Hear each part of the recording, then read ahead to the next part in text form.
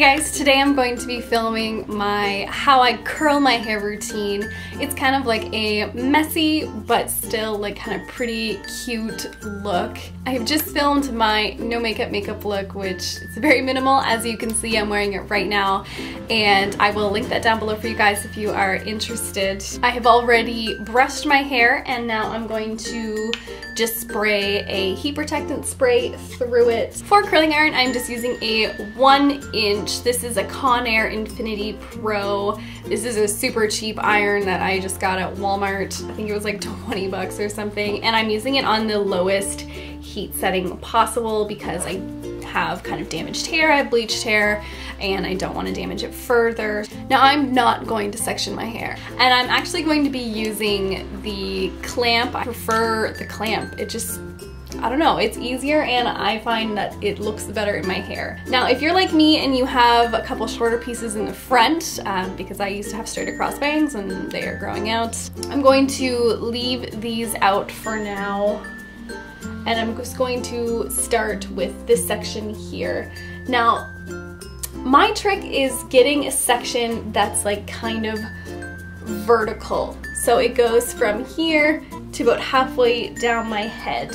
I don't want to pick a piece that's like this thin and just on the very top layer of my hair. Definitely want to go for something that is more vertical like that. It's quite thick. It's definitely not a small piece. Now I'm going to start here, clamping at the very top and curling around. Now I'm just going to pulse this clamp thing and move it downwards as I go and then let it go. We will brush all of these out later, but for now, we'll just leave them kind of crazy looking. Again, another vertical-ish piece. Doesn't have to be perfect. Clamping right at the root, curling around. And I usually leave about half an inch to an inch out at the very end that kind of gives you more of like a wave feeling, not so much of a curl.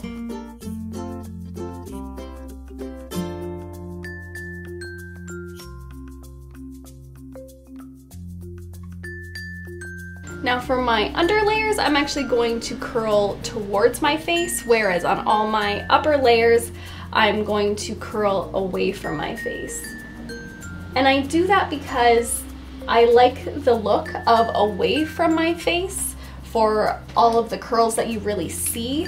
However, because my underlayers are so short, I can't really curl them so it just kind of flips out and I'm not crazy about like the flipping out look so I like to curl them towards me so that they kind of have more of a curled under effect.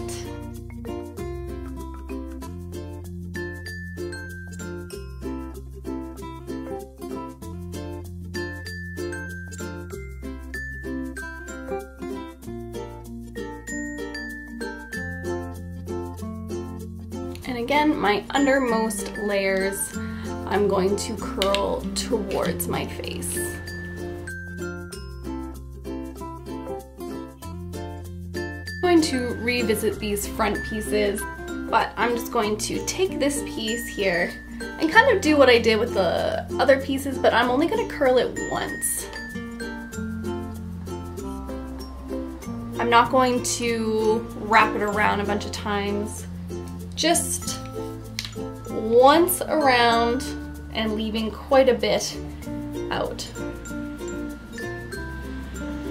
I feel like that looks better than having two kind of shorter ringlets in the front.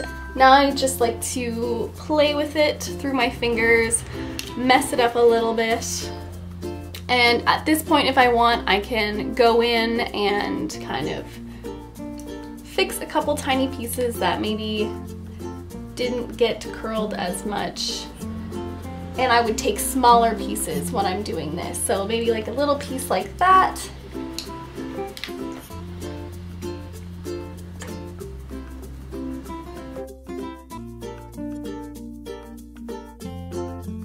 that is how I curl my short hair. I think it's really cute. If I want to add a little bit more edge and pieciness to it, I will spray in something like this Marc Anthony Dream Waves spray. And this is just a beach spray, salt spray, smells amazing like coconuts and definitely gives a more piecey vibe to my hair. And I just scrunch that in. And that is all for this really easy, quick, and cute little short hair, curling hair tutorial. Thank you guys so much for watching. Subscribe if you want to see more of me, and I'll see you in my next video very soon. Bye!